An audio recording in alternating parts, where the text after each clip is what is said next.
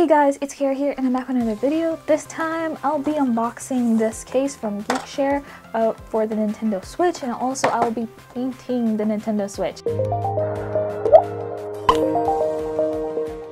Okay, don't freak out. I'm not painting directly on it. I'm actually going to be um, painting on top of this washi tape and then putting it over because I want a white border, but then I don't want to get a skin for it. And I just want that part to be white. And so I could just buy washi tape that's white, but you know, I that's I don't have that so I you know let's just see if this works I'm not actually gonna get it on the switch I'm gonna paint it on this first and then take it out and then reapply it but first let's try on this case from Geekshare and I want to show you guys my, my, my current case, link in the description. They're all affiliate links so if you do buy from them it will help out the channel. This one is actually the cheaper uh, um, version of the TomTom Tom Tom Talk. I'm not exactly sure. Of the more expensive, there's a $20 version of this, but I got this for $6 on Amazon. So I'll leave the link to this this one below. I just put some cute stickers on it and some keychains.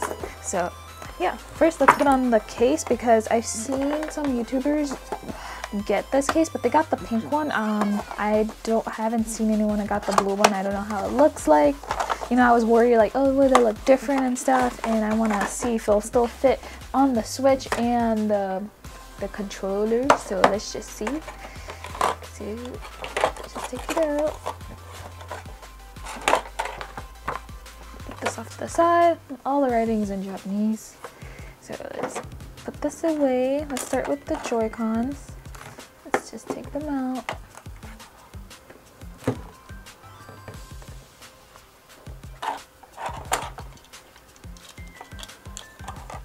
Oop, I guess that's for the this.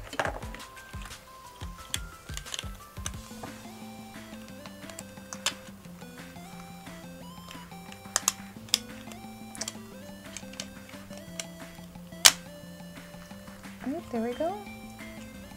It's in so far. Let's put on the cover.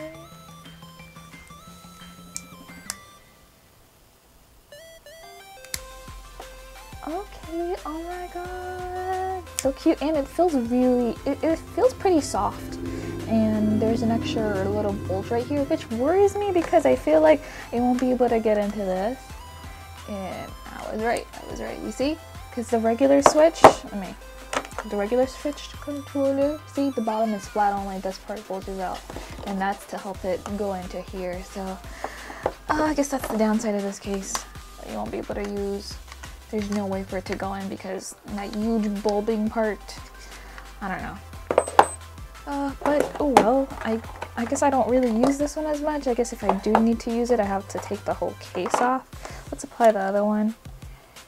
But now before I apply the other one, I just wanted to show you guys, uh, see how easily the regular Switch controller goes in. Because I'm trying to show you guys that because there's no bulge at the bottom, because it could get through this whole part. And now look at this. Not as smooth because see, this is stopping it right there. So that's the downside of this case, which is a total bummer actually. Oh man. But for now, you know, I have the I have the Super Smash controller, so it's okay. I don't have to worry about that one. The things we do for aesthetics.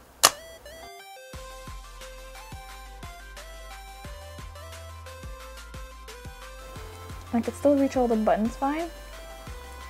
I got This power button still accessible. Um, but my only downside for this case, the main downside, is that it gets kind of dirty easily. I think I got my makeup on it a little bit because I did open this earlier to try it out. And it's really hard to reach the removal, like the button to remove the switch Joy-Cons controller, so that's the downside of this. It's yes, it's really nice, but I, it's not built for convenience, I guess. But it does feel good. Like this part feels good, but then it doesn't fit into the Switch controller. Let's just see if this whole thing could still fit into the Switch. So, the Switch dock. Alright guys, so the goal is for it to get through the USB Type-C and the two pin connectors on the side. So let's see if it could do that with the case on it. So let's just see. And put this flat down.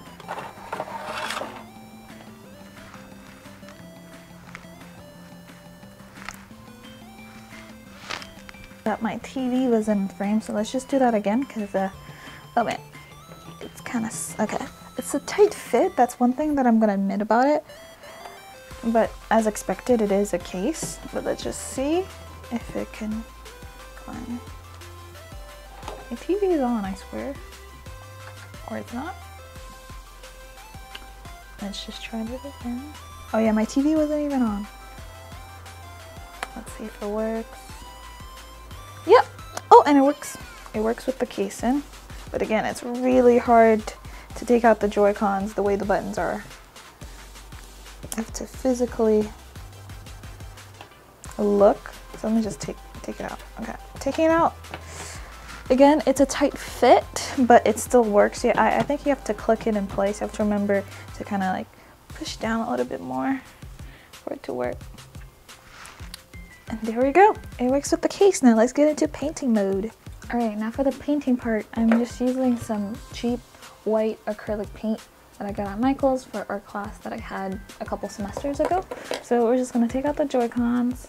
Oh boy, I'm recording this process because it's so hard to reach. Like, this is cute, but is it worth all this effort? I think it is. Bold. I'm just gonna do it right on the case. Right on the switch, I mean. So let's just, just have to be precise.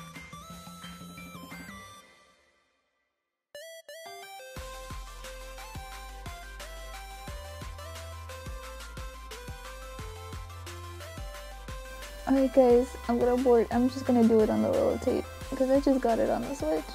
I knew I would, but oh boy. Let me get a paper towel.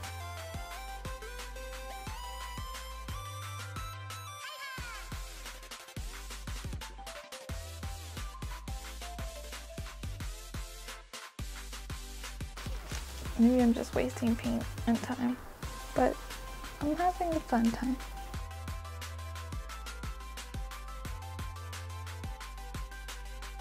A few minutes I want to stop and see if my efforts are, are like working. If what I'm trying to do is achievable. You know, it might be kind of messy, but I, I think I like the rustic look of it.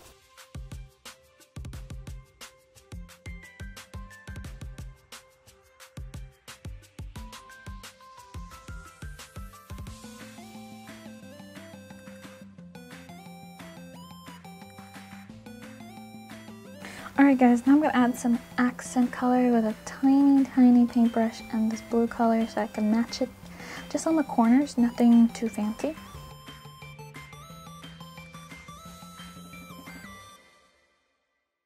Going back in a little bit for slightly more detail because my paint was starting to dry out.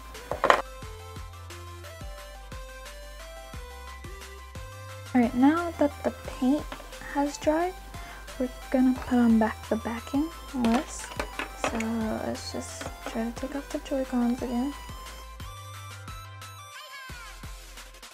And there we go guys. Oh boy, ah, I'm so happy that I did this.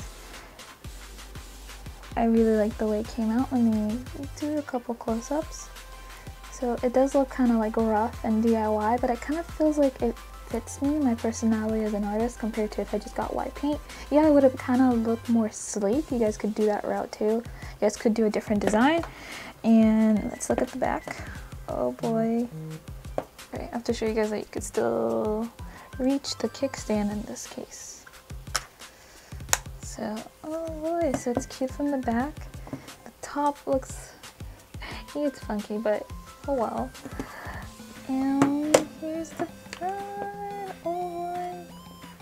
It was inspired by this Zelda skin of the Nintendo Switch.